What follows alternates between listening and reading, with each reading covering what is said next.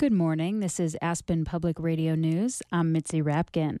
Last night, Matthew Kocel brought his voice and a variety of unique musical instruments to deliver a two hour sound healing at Anderson Ranch in Snowmass Village.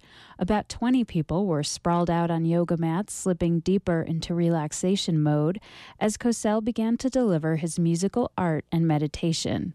But I'll let Kocel's words and music tell the story. Combination of meditation and sound. And we use sound as a conveyor of energy, of intention, and to hold space for groups of people so they can enter into a state of direct experience of connection to life itself, the source of life. It was a beautiful journey to experience um, different elements of myself through, Through the vibration, through the sound. It's just like waves of my body. Just like goosebumps after goosebumps after goosebumps. Uh, what I do with my voice is create one, two, three or more sounds, notes at once. And I find that that increases the amount of energy that is transmitted through the voice. So now it's more than an interesting sound, it's the intention behind it.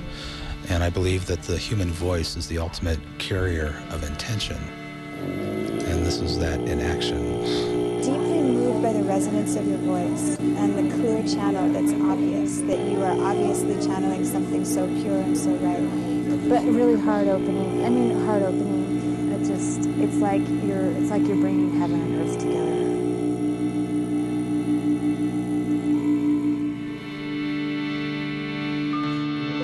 Sensation of my body and to be fully moving into the sensation of vibration was an interesting journey for me.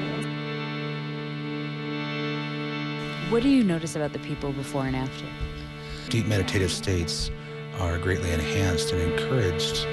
What I find is through the meditation and sound, we create a unified field, and afterwards, everyone is in a very peaceful state, as if we're sharing that space together.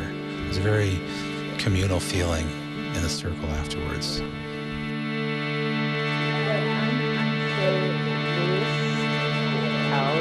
This helped me to ground, find my rhythm again, and center. These type of vibrations and all this kind of gatherings and all of it just all works in the higher realm. I mean, That was incredible.